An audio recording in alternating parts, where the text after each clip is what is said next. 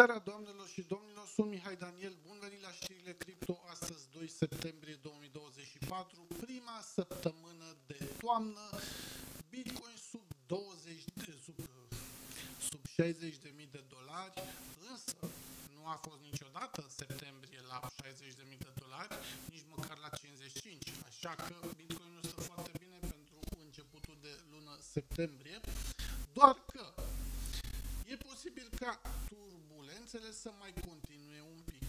Da? Nu este ceva cert, dar e o probabilitate destul de ridicată să mai continue puțin.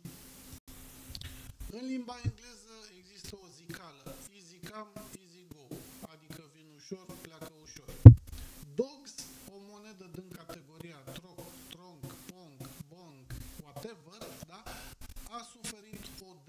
devalorizare a proiectului de 300 de milioane de dolari, adică o scădere de aproape 40% de la all-time high până în data de 26 august. Ideea este că meme coinurile sunt ceva de fan. E ca și cum te duci la casino și te super pe cărți, pe ruletă, pe whatever. Când știi că chestia aia gen doar dacă ai noroc poate fi câștigătoare pentru tine.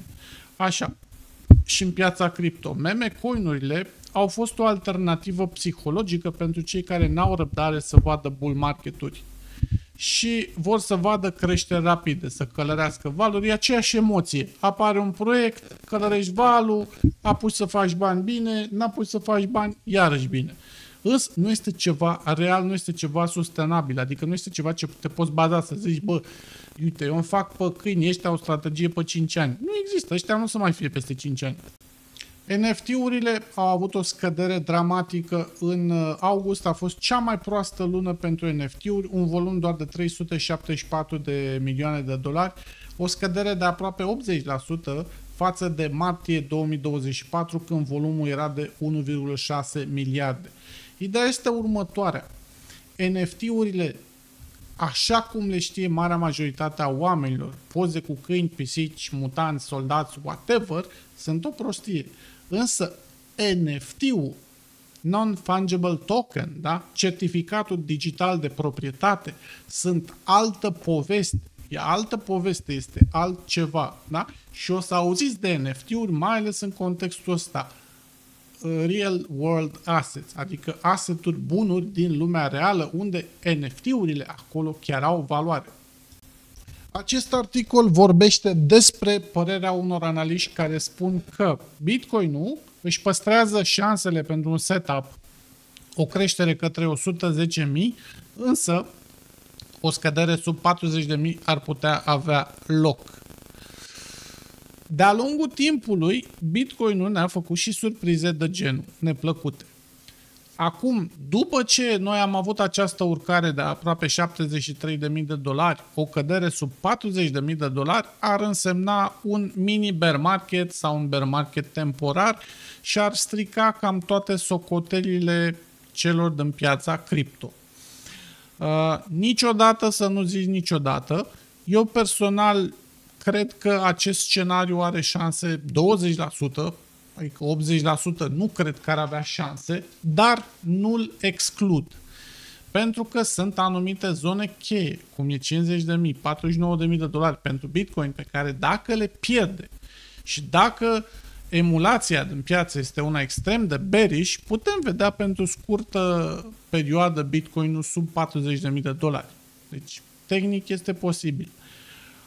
Dacă Bitcoin-ul coboară sub 40.000 de dolari pentru o perioadă mai lungă, atunci nu avem niciun dubiu, este bear market, iar 73.000 a fost topul. Dar, repet, șansele ca lucrul ăsta se întâmple sunt destul de mici. Sunt un pic mai mari, gen să vezi așa, un cât ai clipi Bitcoin-ul sub 40, după aia să revină. Da, s-a întâmplat în vara lui 2021 când nimeni nu credea că Bitcoin-ul să cadă sub 40, sub 35 și a căzut. S-a întâmplat. Adică, istoric există precedent. Acest titlu este corect, zic eu. Datele economice din Statele Unite vor impacta valoarea Bitcoin. Acum, așteptările tuturor sunt bullish. Deci toată piața se așteaptă să se întâmple lucruri bullish. De aceea, păstrez acea doză de siguranță 20%, băi, și dacă se întâmplă un scenariu. Ideea este ca scenariile să nu producă șoc, adică întotdeauna e bine să conștientizezi, bă, uite, am un asset, se poate întâmpla asta, dar pe termen lung își revine, adică toată lumea are în clipa de față asseturi care sunt pilaf, își vor reveni. Acest articol se întreabă dacă Solana e moartă, dacă Solana e în bear market profund și nu știu ce. Solana este în bear market, uh, într-un mini bear market, însă nu cred că e un dezastru. Cu toate că s-au întâmplat niște lucruri pe grafic care nu arată bine. Cei din comunitatea premium astăzi o să vedeți sau poate ați văzut deja la analiză. Sunt pe graficul Bitcoin pe 4 ore. Aici este relativ, relativ bullish. RSI-ul, Better RSI-ul nu arată cum trebuie. Avem Stochastic RSI și MACD-ul care sunt bullish. Dar ne confruntăm cu prima rezistență dintr-o serie de rezistențe, 20 moving average, urmează 50 și urmează 200. Vedem că aici am fost respinși agresiv, agresiv pe 29 august. Da? Am început căderea în 24, am venit, am confirmat zona asta 200 moving average rezistență. Acum, dacă din nou, să zicem, spargem, se duce aici sau aici și întoarce, mă aștept să mai fac o tranșă în jos. Da? Nu neapărat ceva grozav, dar mă aștept să mai fac o tură în jos. Pentru că astea, dacă sunt confirmate din nou rezistență, înseamnă că suntem și rămânem într-un trend bearish în continuare. Dragilor, pe marketoshi.ro astăzi am mai listat o superbitate de mașină. Este vorba despre acest Mercedes-Benz AMG GT43 cu care o să și filmăm foarte curând. O mașină frumoasă, curată, an de fabricație 2020, 54.000 de kilometri, aproape 400 de cai. Hai să vedem cum arată. Ce să zic? O mașină foarte, foarte frumoasă, mai ales pentru pasionații de AMG-uri. O găsiți, o puteți cumpăra direct de pe uh, marketoshi.ro.